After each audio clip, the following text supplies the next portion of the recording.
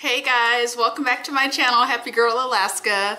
I am your girl Terree, and if you are new here, welcome. Alright, so in today's video, what I want to talk about, and this video is directed towards the ladies. Ladies, I want to hear from you, do you think Alaska is right for you?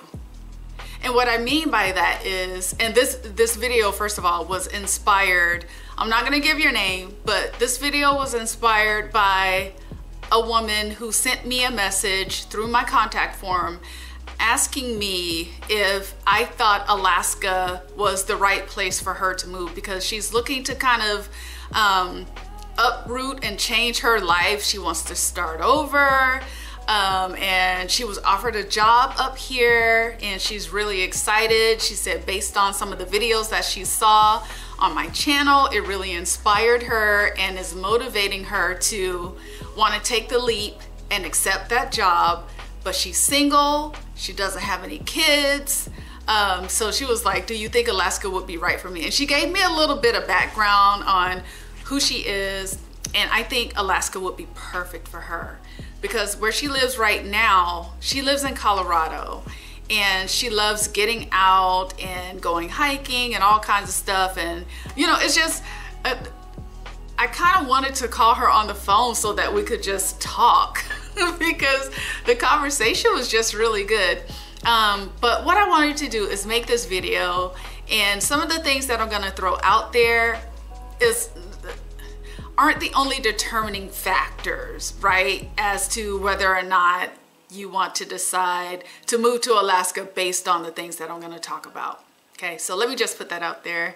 Um, but yeah, you know, let's go ahead and get into this conversation and then maybe by the end of the video, you might have some other questions and if you do, put them down below.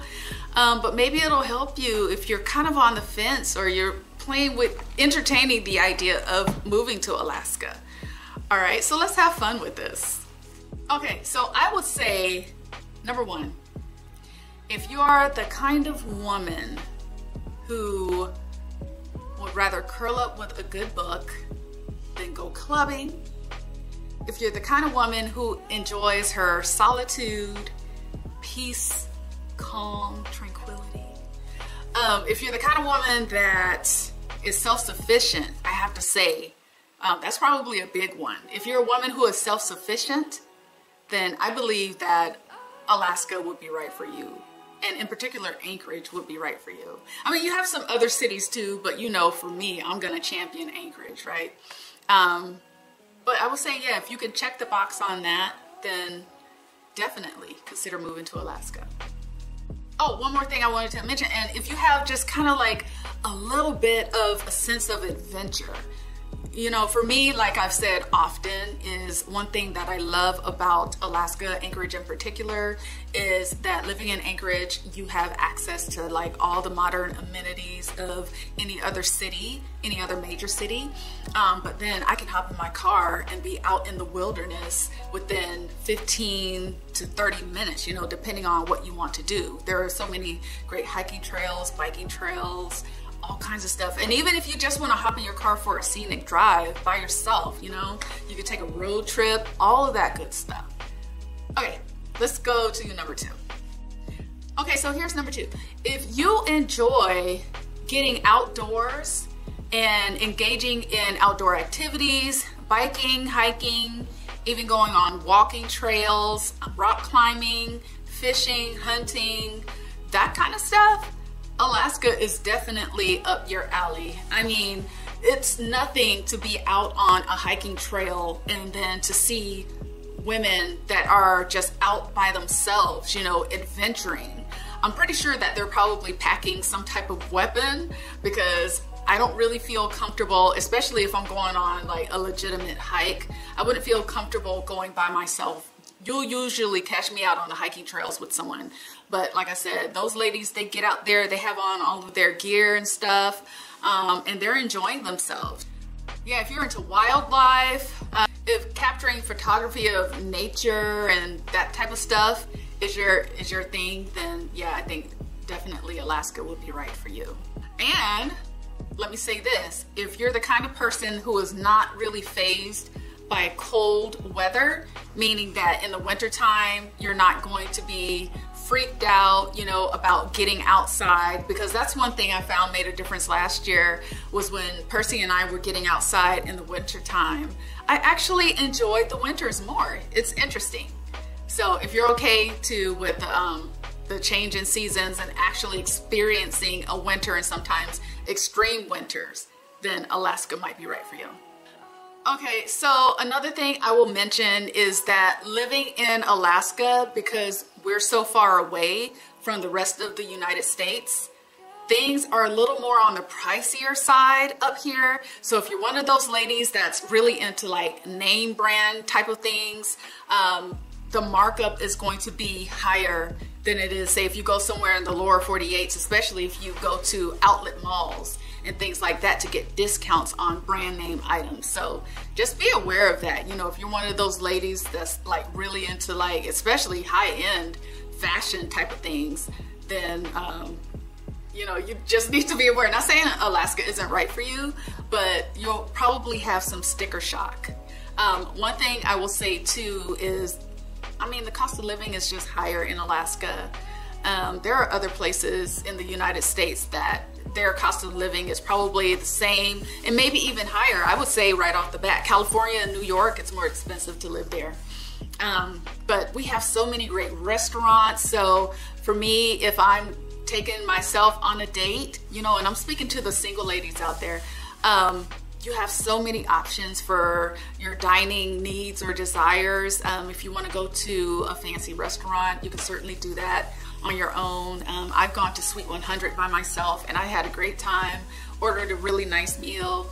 Um, yeah, so the, the restaurants range so many, so many different options to choose from here. Um, but the, the markup is higher. The markup is higher.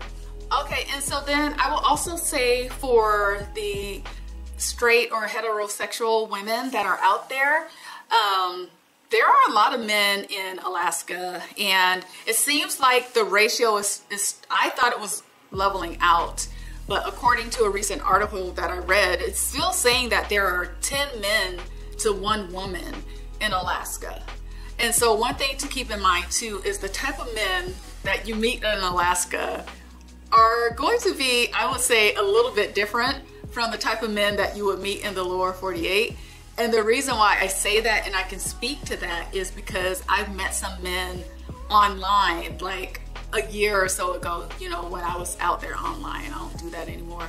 But um they're different. the men in Alaska are different. And I don't mean that in a bad way. I actually made a video about Alaskan men and it is, a lot of it is generalizations, but I've had some women send me messages and they're like, everything you said is pretty much spot on, you know, when it comes to Alaskan men.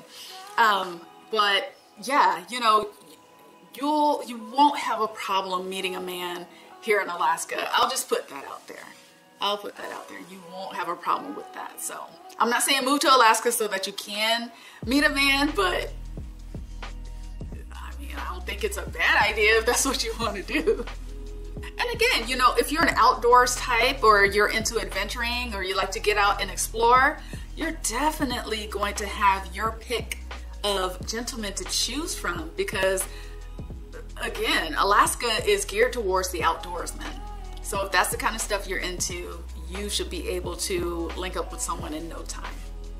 All right, and um, another thing I will put out there, um, if you are the kind of person, so, so here's the thing, right?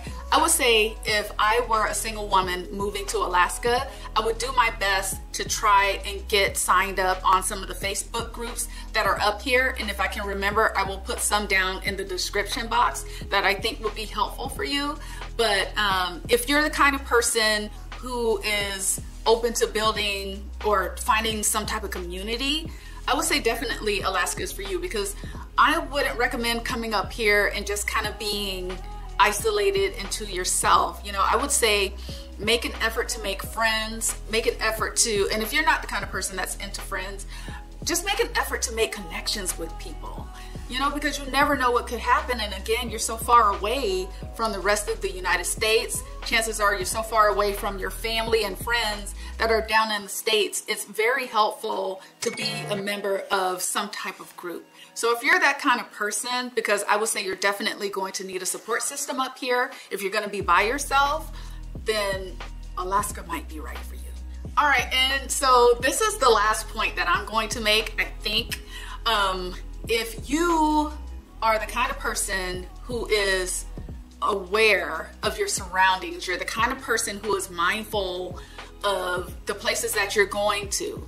You know, you don't just kind of wander aimlessly around um, the city. Well, maybe depending on if you grew up or if that's your hometown, you might do that. But if you decide to go to another city that you're not familiar with, if you're the kind of person that pays attention and you just have like hyper awareness, I would say.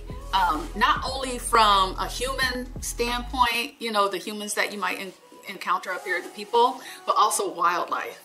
I'm telling you, it is not uncommon to go outside, see a moose standing next to your car. What are you going to do? Are you going to freak out?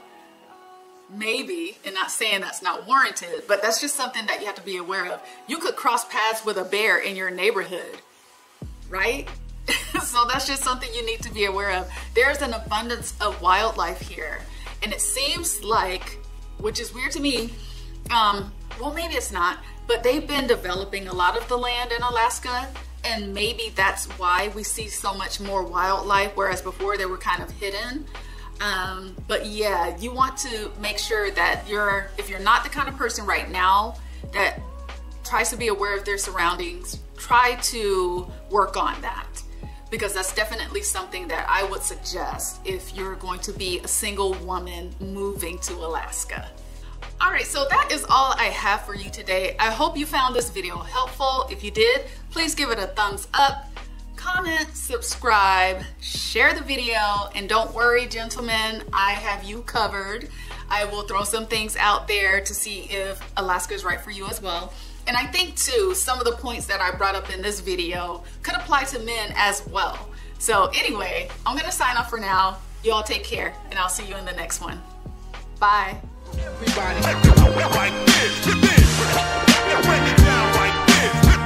Everybody.